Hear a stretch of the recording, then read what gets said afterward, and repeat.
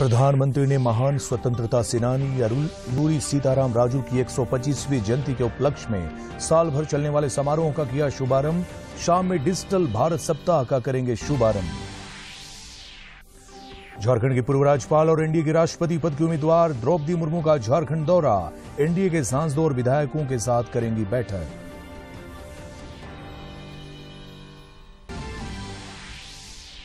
केंद्रीय जल शक्ति और जनजातीय राज्य मंत्री विशेश्वर टूडू झारखंड दौरे पर गढ़वा में अधिकारियों के साथ विकास कार्यों की कर रहे समीक्षा, भाजपा कार्यकर्ताओं से भी मिले।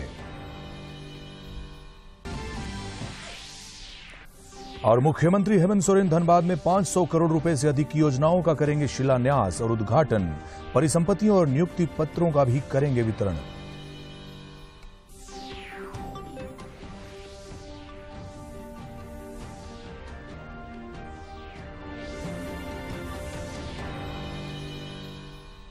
नमस्कार, खबरें झारखंड देख रहे हैं आप। देश, दुनिया और झारखंड की ताज़ा तरीन खबरों के साथ मैं हूँ अरविंद और अब समाचार विस्तार से।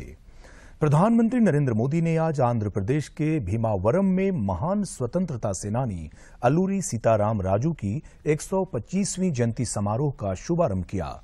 मौके पर प्रधानमंत्री ने सीताराम राजू की 30 फुट की कांस्य प्रतिमा का भी अनावरण किया।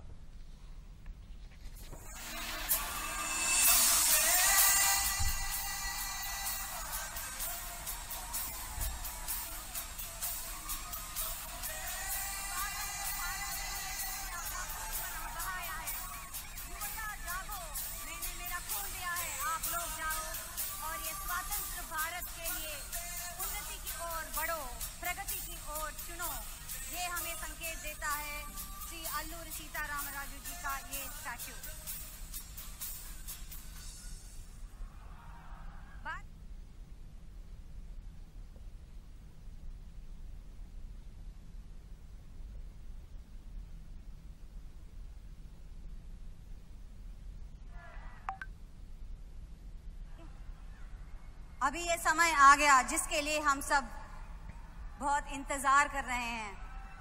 श्री अल्लूरी सीताराम राजू जी का विग्रह आविष्करण का समय आ गया है।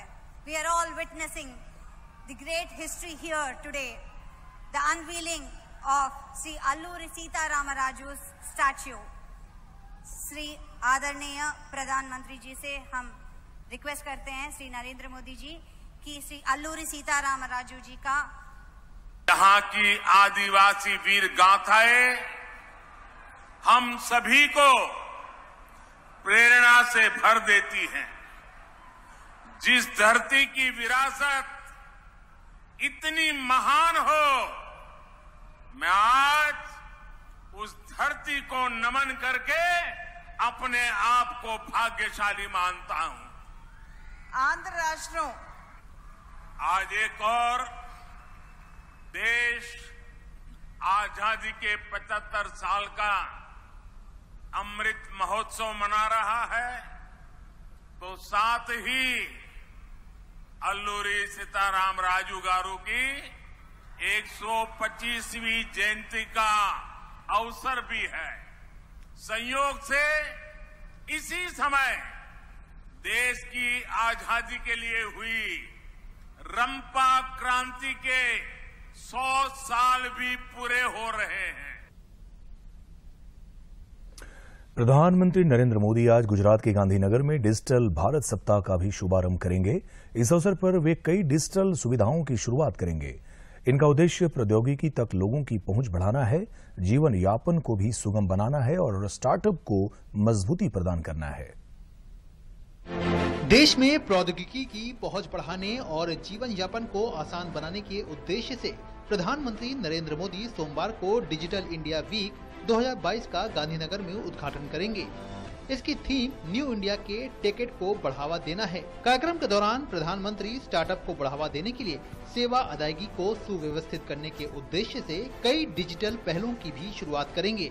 प्रधानमंत्री डिजिटल इंडिया भाषिनी लॉन्च करेंगे, जो भारतीय भाषाओं में इंटरनेट और डिजिटल सेवाओं तक आसान पहुँच को सक्षम करेगी और इसमें आवाज़ आधारित पहुँच भी शामिल होगी।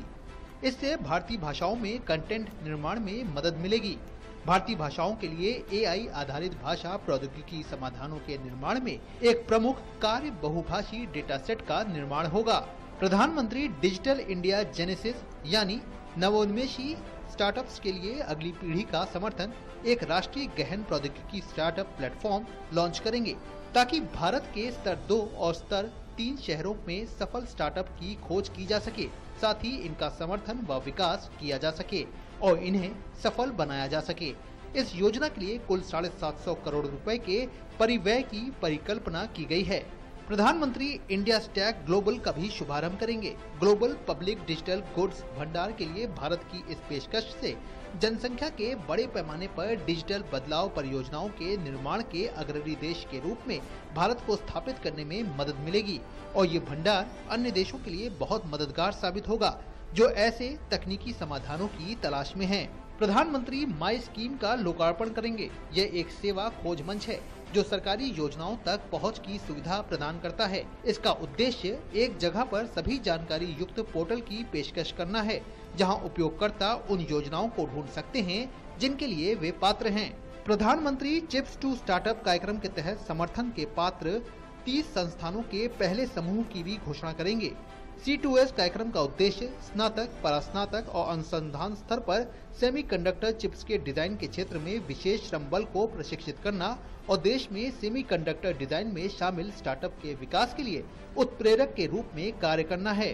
भारतीय यूनिकॉर्न और स्टार्टअप द्वारा विकसित डिजिटल समाधानों को प्रदर्शित करने वाले 200 से अधिक स्टॉलों के साथ एक डिजिटल मेला भी आयोजित किया जा रहा है। डिजिटल इंडिया के तमाम प्रोजेक्ट्स भारत के लोगों के लिए ईज ऑफ़ लिविंग को इंश्योर करने के लिए और ईज ऑफ़ डूइंग बिज़नेस और जीवन सामान्य को सरल करने के लिए दिन प्रतिदिन उपयोगी होते जा रहे हैं। तो उन्हीं में से जो महत्वपूर्ण हमारे प्रोजेक्ट्स हैं, चाहे वो गवर्नमेंट सेक्टर के हों या स्टार्टअप्स के हों या इंडस्ट्री के हों या फिर हमारे जो एमर्जिंग टेक्नोलॉजीज़ के जो प्रोजेक्ट्स हैं, उन सब का यहाँ एग्जीबिशन डिजिटल मेला में दिखाया जा रहा है।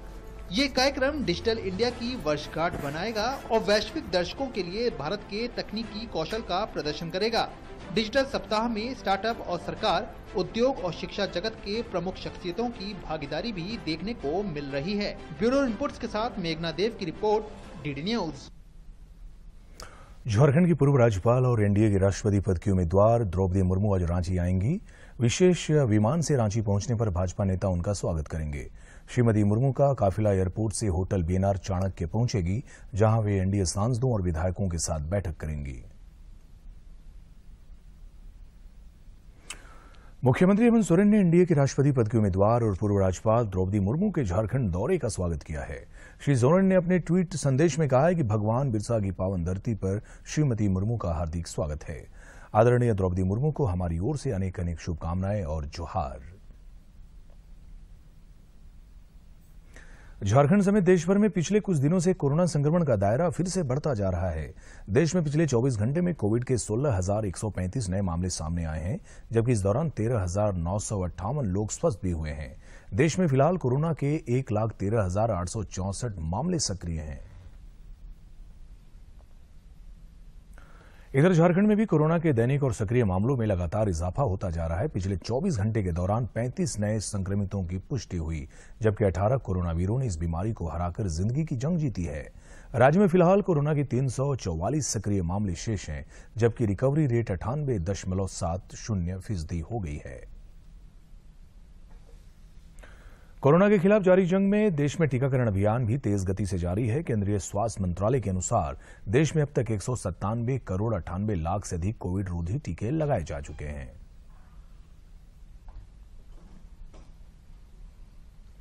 प्रधानमंत्री नरेंद्र मोदी के आगामी 12 जुलाई को देवघर दौरे को लेकर उपायुक्त मंजूनाथ भजंत्री ने देवघर कॉलेज का निरीक्षण कर विधि व्यवस्था और सुरक्षा व्यवस्था का जायजा लिया है। इस दौरान विभिन्न कार्यों का निरीक्षण करते हुए कार्यक्रम स्थल पर बन रहे पंडाल और मंच को लेकर भी अधिकारियों को आवश्यक एवं उचित दिशा निर्देश दिया।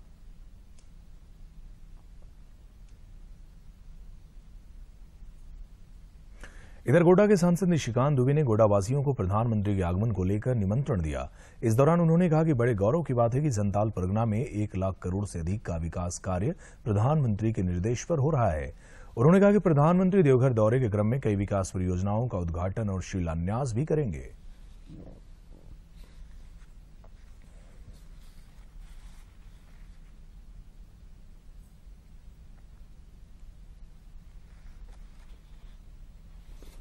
इस ग्राउंड में आएँगे और मैंने जो आपको कहा कि भव्य कार्यक्रम होगा, ऐतिहासिक कार्यक्रम होगा, न भूतो न भविष्य ऐसा कार्यक्रम नहीं हुआ होगा। और प्रधानमंत्री जी के तौर पर जो है इतनी बड़ी सौगात लेके मुझे नहीं लगता कि कोई प्रधानमंत्री जल शक्ति और जनजातीय मामलों के राज्य मंत्री विशेश्वर टूडू आज गढ़वा में विभिन्न कार्यक्रमों में शामिल हो रहे हैं और विकास कार्यों की उच्च स्तरीय समीक्षा भी कर रहे हैं। श्री टूडू गढ़वा दौरे के क्रम में भारतीय जनता पार्टी के कार्यकर्ताओं के साथ भी बैठक में शामिल हुए और कई दिशा निर्देश भी दिए। पाँच जुलाई को वे रांची से दिल्ली के लिए रवाना होंगे। मुख्यमंत्री हेमंत सोरेन आज धनबाद जाएँगे। श्री सोरेन धनबाद के गोल्फ ग्राउंड में आयोजित समारोह में 500 करोड़ रुपए से अधिक की योजनाओं का शिलान्यास और उद्घाटन करेंगे। इस मौके पर करोड़ों रुपए की परिसंपत्तियों और नियुक्ति पत्र का भी वितरण करेंगे। राज्य के संसदीय कार्य मंत्री आलमगीर आलम ने कहा है कि 29 जुलाई से 4 अगस्त तक विधानसभा के मानसून सत्र के लिए राज्य सरकार प्रस्ताव ने दिया है। कैबिनेट की मंजूरी के बाद यह राज्यपाल को भेज दिया जाएगा। उन्होंने कहा कि मानसून सत्र का भरपूर सदुपयोग हो, इसके लिए वे विपक्ष का सहयोग मांगेंगे। उन्होंने कहा कि पंचायत चुनाव की वजह से ग्रामीण क्षेत्रों में आचार संहिता लगी हुई थी। इससे दो महीने तक विकास कार्य प्रभावित हुए और अब बारिश का समय आ गया है।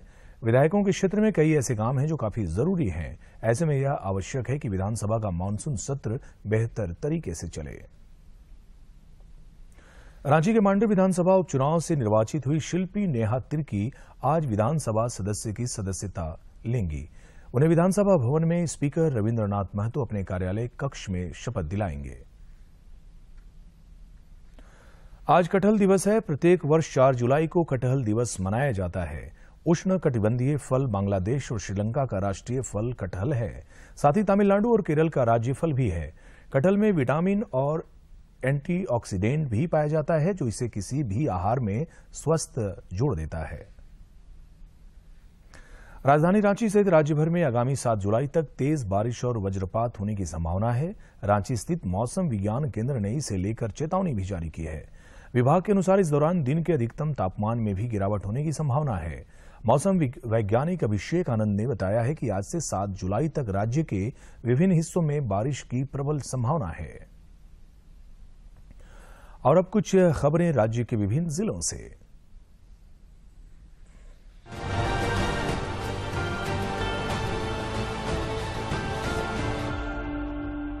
मनरेगा आयुक्त राजेश्वरी बी ने सभी उप विकास आयुक्तों को मनरेगा के तहत किए जा रहे कार्यों में तेज़ी लाने का निर्देश दिया है।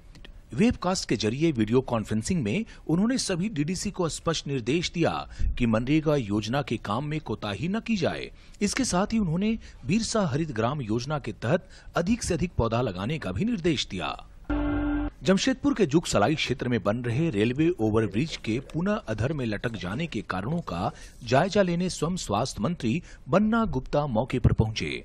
उन्होंने संबंधित इंजीनियर और ठेकेदार को बुलाकर विलंब होने का कारण जाना और निर्माण कार्य में तेज़ी लाने का निर्देश भी मौके पर दिया। भारतीय जनता पार्टी के पूर्व प्रदेश अध्यक्ष तथा राइट्स लिमिटेड के स्वतंत्र निदेशक डॉक्टर दिनेशानंद गोस्वामी के प्रयासों से पूर्वी सिंहभूम के बहरागोड़ा प्रखंड के पंचाडो गाँव में विशाल स्वास्थ्य शिविर संपन्न हुआ। जमशेदपुर तथा आसपास के आठ वरीय डॉक्टरों के द्वारा छह मरीजों का स्वास्थ्य जाँच किया गया तथा चिकित्सकीय सलाह भी प्रदान किया गया। विश्व प्रसिद्ध श्रावणी मेला 14 जुलाई से शुरू होने जा रहा है और इसे लेकर तैयारियाँ भी शुरू हो गई है। झारखंड और बिहार सरकार के अफसरों, कर्मचारियों ने मोर्चा अभी से ही संभाल लिया है। इस वर्ष हर रोज एक लाख से डेढ़ लाख श्रद्धालुओं के देवघर पहुँचने की संभावना है। इस हिसाब से एक महीने तक चलने वाले इस मेले में लगभग 50 लाख श्रद्धालु देवघर पहुँचेंगे। बोकारो पुलिस ने इंडियन बैंक डकैती कांड में शामिल एक अन्य कुख्यात अपराधी, उमेश महतो उर्फ़ गदर को गिरफ़्तार कर लिया है। धनबाद के बलियारपुर का रहने वाला उमेश महतो उर्फ़ गदर के पास से ग्यारह हज़ार छह सौ पचपन रूपए, बाइक, बैग और बैंक के कागजात भी बरामद किए गए हैं। इस मामले में चार आरोपी पहले ही पकड़े जा चुके हैं। पनबिजली परियोजना सिकिदरी हाइडल की दोनों यूनिट से बिजली का उत्पादन शुरू हो गया है। इससे 105 मेगावाट बिजली की आपूर्ति हो रही है। हालाँकि सिकिदरी हाइडल की दोनों यूनिटों की क्षमता 130 मेगावाट की है। सिकिदरी हाइडल से पीक आवर में बिजली की आपूर्ति की जाएगी। जमशेदपुर के परसूडी थाना अंतर्गत कीताडी गड़ियान पट्टी में जुआ खेलने से मना करने पर युवक को अपराधियों ने गोली मार दी। इस घटना में युवक बाल बाल बच गया। गोली युवक के दाएँ कनपट्टी को छू कर निकल गई। वहीं घटनास्थल से पुलिस ने खोखा बरामद किया है। पूर्व विधायक अरविंद सिंह के रिश्तेदार और ठेकेदार कन्हैया सिंह हत्याकांड के चार दिन बीत जाने के बावजूद भी हत्यारों का सुराग लगाने में पुलिस नाकाम रही है। इसके खिलाफ पूर्व मुख्यमंत्री मधु कोड़ा ने आदित्यपुर में बैठक की और पुलिस प्रशासन की अल्टीमेटम देते हुए अपराधियों की गिरफ्तारी नहीं होने पर सड़क पर उतरने की भी चेतावनी दी।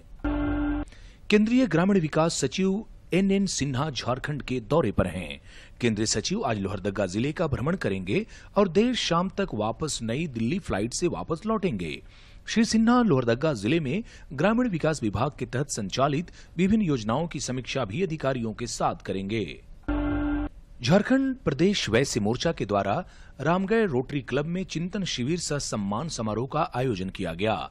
इस सम्मेलन में नवनिर्वाचित पंचायत प्रतिनिधियों को भी सम्मानित किया गया। साथ ही समाज के विभिन्न मुद्दों को लेकर संघर्ष की बात भी मोर्चा ने कही है।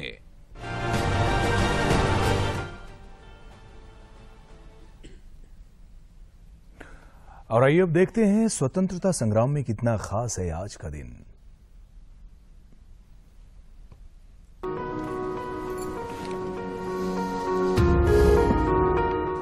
आज की कड़ी में हम आध्यात्मिक और राष्ट्रवादी चिंतक स्वामी विवेकानंद को श्रद्धांजलि अर्पित कर रहे हैं। उनका देहांत 4 जुलाई 1902 को हुआ था। भारतीय और पाश्चात्य संस्कृति के बारे में उनके व्यापक ज्ञान के साथ साथ उनकी गहरी आध्यात्मिक अंतर्दृष्टि और मनुष्य के बारे में व्यापक सहानुभूति ने विवेकानंद को अपने संपर्क में आए पूरे विश्व के मनुष्यों को प्रभावित करने की शक्ति प्रदान की। अठारह में शिकागो में आयोजित धर्म संसद में स्वामी विवेकानंद ने भारत और इसकी सांस्कृतिक धरोहर का प्रतिनिधित्व किया। भारत की आध्यात्मिक संस्कृति, विशेष रूप से वेदांत दर्शन की व्याख्या के मिशन के माध्यम से स्वामी विवेकानंद ने भारत की राष्ट्रीय चेतना को प्रेरित किया। उन्होंने वेदांत दर्शन की तर्कयुक्त और मानवीय शिक्षा के माध्यम से धार्मिक चेतना को समृद्ध किया। उनका मिशन राष्ट्रीय और अंतर्राष्ट्रीय दोनों के लिए था। मानवता प्रेमी स्वामी विवेकानंद ने रामकृष्ण मिशन की स्थापना की। उनतालीस वर्ष के संक्षिप्त जीवन काल में स्वामी विवेकानंद ने चार शास्त्रीय ग्रंथों की रचना की। ये हैं ज्ञान योग भक्ति योग कर्म योग और राजयोग। आज हम गांधीवादी स्वाधीनता सेनानी पिंगली वेंकैया को भी श्रद्धांजलि अर्पित कर रहे हैं। उनका निधन 4 जुलाई उन्नीस को हुआ था। भारत का राष्ट्रीय ध्वज उनके डिज़ाइन पर आधारित है। पिंगली ने सबसे पहले 1921 में उसे महात्मा गांधी के समक्ष प्रस्तुत किया था। पिंगली वेंकैया का जन्म 2 अगस्त 1876 को आंध्र प्रदेश के कृष्णा ज़िले में हुआ था। वे अफ्रीका में आंग्ल बोयर युद्ध के दौरान दक्षिण अफ्रीका में ब्रिटिश सेना में थे। वहाँ पहली बार महात्मा गांधी से उनकी मुलाकात हुई। उस समय पिंगली मात्र 19 वर्ष के थे। पिंगली एक बार फिर विजयवाड़ा में गांधी जी से मिले और उन्हें ध्वज के विविध डिज़ाइन के साथ अपना प्रकाशन दिखाया। राष्ट्रीय ध्वज की आवश्यकता अनुभव करते हुए गांधी जी ने पिंगली से नया ध्वज बनाने को कहा। उन्होंने नया ध्वज 1921 में कांग्रेस के राष्ट्रीय अधिवेशन में प्रस्तुत करने का निर्देश भी दिया। आरंभ में वेंकैया ने लाल और हरे रंग ही उपयोग किए, लेकिन बाद में केसरिया रंग और बीच में चरखा तथा सफ़ेद रंग का उपयोग किया गया। इस ध्वज को 1931 में भारतीय राष्ट्रीय कांग्रेस के अधिवेशन में आधिकारिक रूप से अपनाया गया। भारत सरकार ने उनके स्मृति में 2009 में डाक टिकट जारी किया। 2015 में आकाशवाणी के विजयवाड़ा केंद्र का नाम पिंगली वेंकैया कर दिया गया। इस महान राष्ट्रवादी पिंगली वेंकैया को हमारा शत शत नमन। आज हम स्वतंत्रता सेनानी हेमंत कुमार नायक का भी स्मरण कर रहे हैं। उनका निधन 4 जुलाई 1932 को हुआ था। बंगाल के मेदिनीपुर के निवासी हेमंत 4 जुलाई 1932 को अखिल भारतीय कैदी दिवस मनाने के लिए अपने गृह नगर में आयोजित जनसभा में शामिल हुए। अधिकारियों की अनुमति के बावजूद पुलिस ने बलपूर्वक जनसभा को अवैध घोषित कर दिया और उसे तितर बितर करने का प्रयास किया। जब लोगों ने तितर बितर होने से मना कर दिया तो पुलिस ने गोलीबारी शुरू कर दी। वहाँ शहीद होने वालों में हेमंत कुमार नायक भी शामिल थे।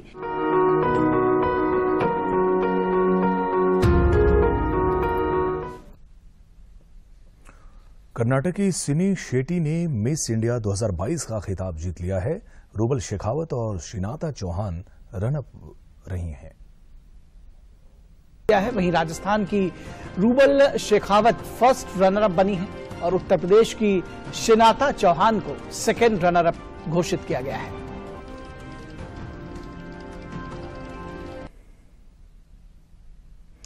बर्मिंघम के एजबेस्टन में इंग्लैंड के साथ पाँचवें टेस्ट मैच के तीसरे दिन कल भारत ने दो सौ सत्तावन रन की बढ़त बनाई। समाप्त होने तक भारतीय टीम ने अपनी दूसरी पारी में 45 ओवर में तीन विकेट खोकर 125 रन बना लिए। चेतेश्वर पुजारा 50 जबकि ऋषभ पंत 30 रन बनाकर खेल रहे थे। दूसरी पारी में शुभमन गिल चार रन, हनुमा विहारी 11 विराट कोहली 20 रन बनाकर आउट हो गए। भारत के पास अभी दो सौ सत्तावन रन की कुल बढ़त हो गई है।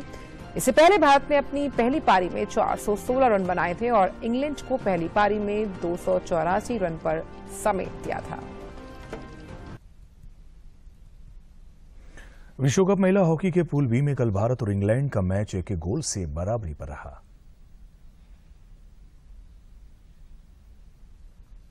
एक से बराबरी पर रहा।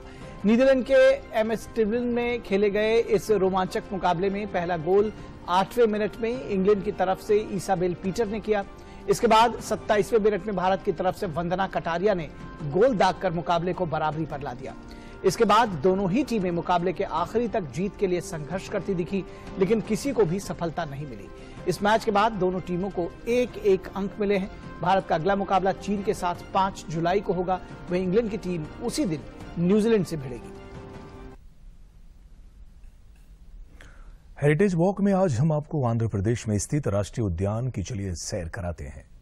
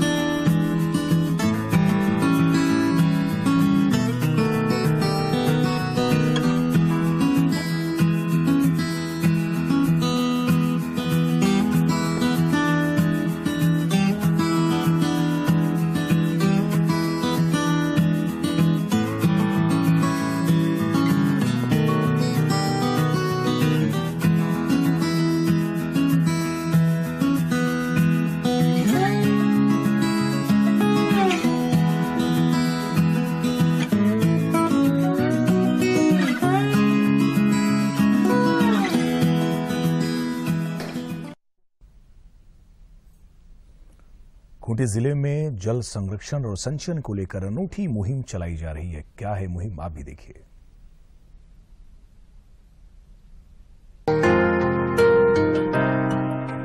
झारखंड के नक्सल प्रभावित खूंटी ज़िले में जल संचयन और जल संरक्षण के लिए एक अनूठी मुहिम चलाई जा रही है। पूरे ज़िले में सेवा, वेलफेयर, सोसाइटी और क्षेत्र की ग्राम सभाओं के ज़रिए अलग अलग गाँवों में ग्रामीणों के श्रमदान से दो साल के अंदर 200 से अधिक बोरी बाँध बनाए गए हैं। अब तक खूंटी ज़िले में हम लोग पिछले दो सालों में 200 से ज़्यादा बोरी बाँध बना चुके हैं और जिसमें दस हज़ार से ज़्यादा ग्रामीण श्रमदान कर चुके हैं। अब गाँव के लोग खुद जागरूक हो गए हैं। कई जगहों पर स्वयं से भी लोग बोरी बाँध बनाने लगे हैं। खूंटी ज़िले में वैसे तो बरसात के समय अच्छी बारिश होती है लेकिन पठारी इलाका होने के कारण वर्षा जल बहकर बर्बाद हो जाता है। ज़िले में बड़े पैमाने पर इस तरह के सीरियल बोरी बाँध बनाने से जल संचयन और जल संरक्षण के कार्य को नया आयाम मिला है, जिससे गर्मी के मौसम में भी इलाके का जल स्तर बढ़ने लगा है और हरियाली छाने लगी है। बोरी बाँध कर रहे हैं, गर्मी में पानी पूरा सूख जा रहा है, झरना की तरफ़ नहीं जा रहा है बहुत सारे पर्यटक आता है, ऐसे ही घुर जाता है। इसीलिए बोरी बाँध कर रहे हैं। हम लोग बोरी बाँध कर रहे हैं जिसमें हम लोग पानी बचा सकते हैं। इसमें हम लोग पूरे गाँव वाले लोग लगे हुए हैं। श्रमदान में बोरी बाँध कर रहे हैं और यही पानी बचाव के लिए और नहाते धोते हैं पूरे गाँव वाले आते हैं पूरे मुरू टाउन से। बोरी बाँध बनाने में श्रमदान करने वाले स्थानीय ग्रामीणों का भी मानना है कि जल धाराओं की सुंदरता और बेहतर कल के लिए जल संचयन और जल संरक्षण लाजमी है। जगह जगह पे बोरी बाँध बनाया है, जिससे तीन चार फ़ायदे होते हैं। पहला फ़ायदा तो ये है कि जो पानी का जल स्तर नीचे तक चलता जा रहा था, उसमें पानी का जल स्तर रुकने में थोड़ी सी आसानी हुई है। दूसरा है कि जो बालों का कटाव बहुत तेज़ी से हो रहा था, बारिश के समय पे भी या अवैध खनन के माध्यम से, उसको, उसके लिए लोगों के अंदर जागरूकता आई है, उसको भी हम लोगों ने रोक दिया है अच्छे पूरी तरीके से बंद कर दिया है। तीसरा है कि चूँकि पानी रुकने लगा है तो जल स्तर भी अब धीरे धीरे इंक्रीज करने लगा है। वहाँ पे जो, अगर हम पाँच फीट या छः फीट का बोरी बाँध बनाते हैं छः फीट लंबा ऊंचाई का तो एक अच्छा अमाउंट पानी का वहाँ पे सर्वाइव करने लगता है, जिसको हम लोग खेती में यूज़ कर सकते हैं, मत्स्य पालन में यूज़ कर सकते हैं, मवेशियों को पानी पिलाने में यूज़ कर सकते हैं। खूंटी में ग्रामीणों ने श्रमदान से सीरियल बोरी बाँध की नई अवधारणा धरातल पर उतारकर पूरे इलाके में जल संकट का काफ़ी हद तक समाधान किया है। जिसे यहाँ की तस्वीर और तकदीर दोनों बदलनी शुरू हो गई है। ये पंचघाट के पास बनई नदी है। दो साल पहले तक ये नदी पूरी तरह से सूख गई थी। लेकिन इस तरह के बोरी बाँध यहाँ पर बनने के बाद आप देख सकते हैं कि पानी की कितनी कल कल आवाज़ आपको सुनाई दे रही है। तो निश्चित तौर पर बोरी बाँध का ये असर हुआ है कि आसपास के इलाके में सैकड़ों एकड़ ज़मीन पर खेती भी हो रही है और जो लोग पानी की वजह से यहाँ से पलायन कर रहे थे, वो पलायन भी रुक गया है। अपने सहयोगी ज्योत्सना के साथ मैं दिवाकर कुमार, दूरदर्शन समाचार पंचघाट खूटी। दूरदर्शन झारखंड पर पल पल की खबरों से जुड़े रहने के लिए आप हमारे social media platform, Twitter, Facebook और यूट्यूब से भी जुड़ सकते हैं। क्योंकि खबरों से जितना बाखबर रहना ज़रूरी है, उससे ज़्यादा ज़रूरी है सटीक, संतुलित और निष्पक्ष समाचार। हमारा ट्विटर हैंडल है डीडी न्यूज़ झारखंड और फेसबुक पेज है आर एन यू डी के आप हमें YouTube channel Jharkhand DD News पर भी देख और सुन सकते हैं।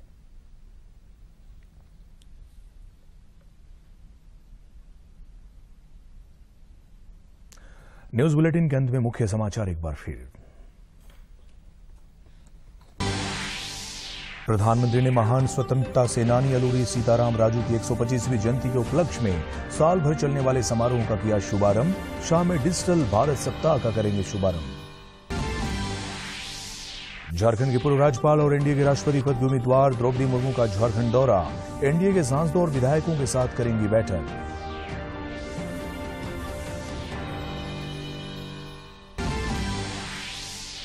केंद्रीय जल शक्ति और जनजातीय राज्य मंत्री विशेश्वर टूडू झारखंड दौरे पर गढ़वा में अधिकारियों के साथ विकास कार्यों की कर रहे हैं समीक्षा। भाजपा कार्यकर्ताओं से भी मिले। और मुख्यमंत्री हेमंत सोरेन धनबाद में 500 करोड़ रुपए से अधिक योजनाओं का करेंगे शिलान्यास और उद्घाटन। परिसंपत्ति और नियुक्ति पत्रों का भी करेंगे वितरण।